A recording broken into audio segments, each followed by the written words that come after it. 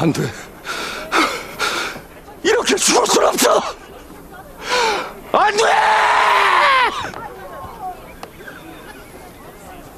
의연하게 마지막 길에 어찌 추한 모습을 보이려 하는가? 이정이 무슨 개소리야!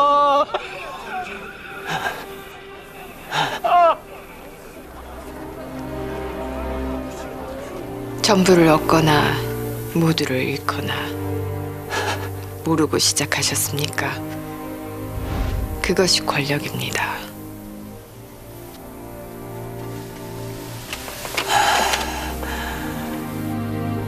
그래야 알지.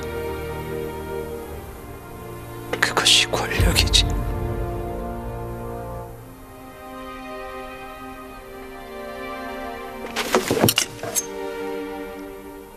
그래서 난 전부를 얻을 걸세.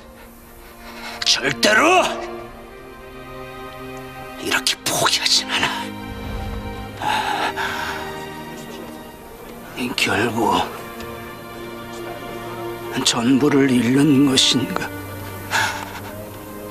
이렇게 이렇게 허망하게